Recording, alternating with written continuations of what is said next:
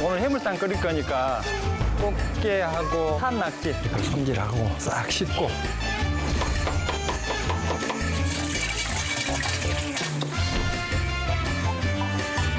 제가 할게요, 그거. 제가 할게요. 제가 수염 자를게요. 컨셉도 중요하지만 의상에 맞게끔 이게 너무 큰가? 이런 것도 괜찮지 않아요? 밝은 것도 괜찮고. 오늘 하나 입혔잖아. 어, 이것도 괜찮다. 이런 것도 의외로 이쁘다. 그러니까요. 저 이것도 괜찮네. 이거는요? 저기요. 네. 이건 안 돼요? 이거요. 이거, 이거. 다 띄어야 돼. 그래?